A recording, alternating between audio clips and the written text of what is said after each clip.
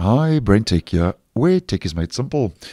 So it's time once again to start double checking that your Chromium based web browsers are up to date because Google started rolling out important security fixes on the 26th of June, which was once again late yesterday in my region, to Google Chrome for desktop.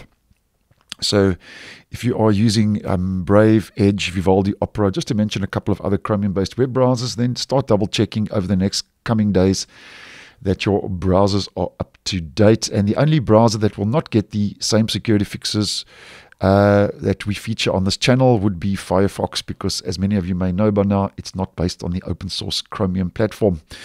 Now, because your browser is your first line of defense and we are dealing with um, important security fixes, um, it's good just to double check your browser's up to date. It doesn't take very long, and at the end of the day, is a worthwhile process.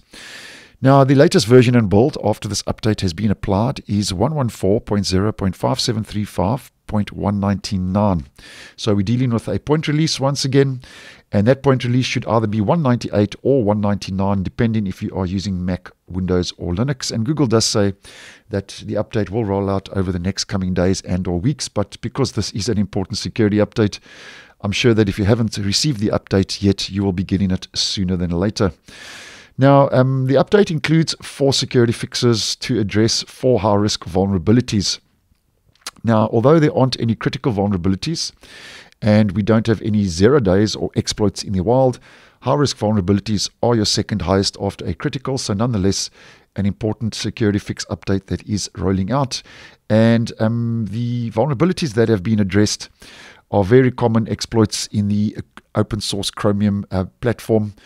Um, we have type confusion in V8, which is the V8 JavaScript engine, and we have use after free, which, as mentioned, are very common exploits uh, in those Chromium based web browsers. So double check your browsers up to date.